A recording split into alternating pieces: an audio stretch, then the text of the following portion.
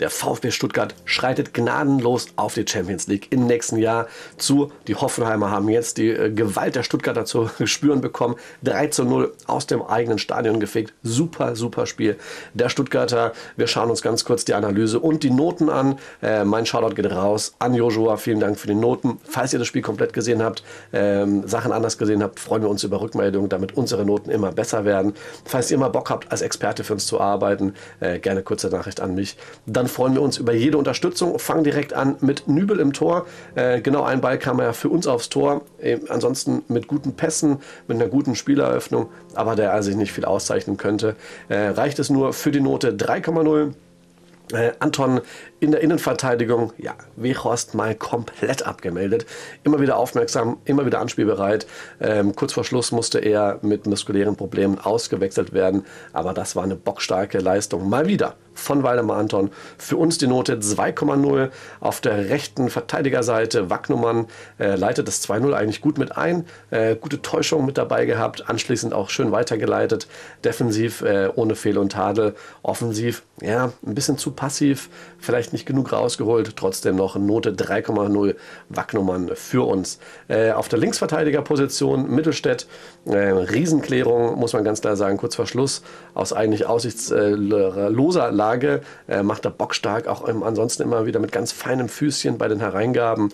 Äh, wieder ein super, super Spiel von Maxi Mittelstädt.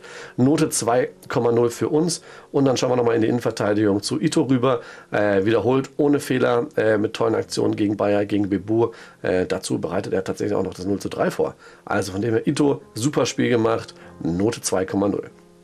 So, ein defensives Mittelfeld, der Stuttgarter äh, Karasor, wirklich äh, sehr, sehr präsent gewesen im Zentrum. Nie Zweifel an seinem Zweikampfverhalten aufkommen lassen.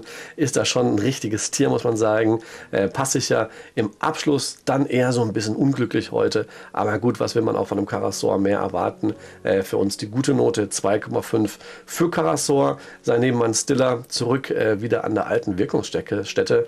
Riesige, super tolle, lange Pässe in Serie tatsächlich.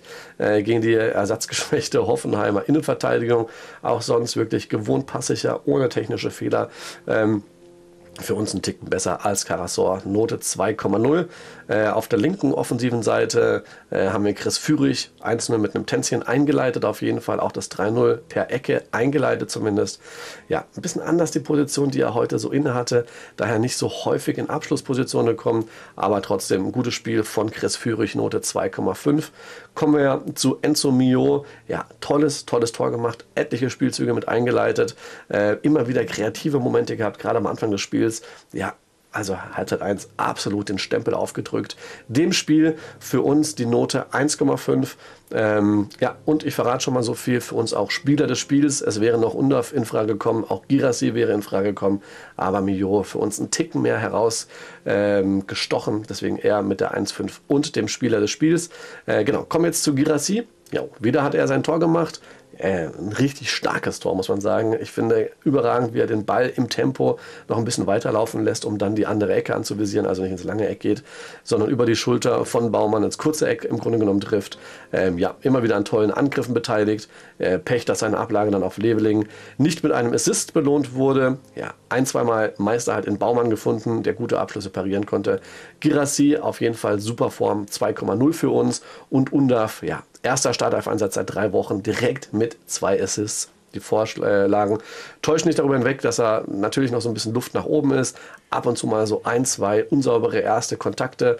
Aber ganz ehrlich, bei zwei Assists äh, ist es ein sehr, sehr gutes Spiel von Undaf gewesen. Für uns die Note 2,0.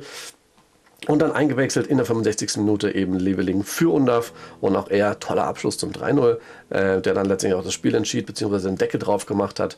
Ja, im Grunde genommen, so sollte man agieren, wenn man irgendwie reinkommt, wenn man sich bewerben will für mehr Spielzeit.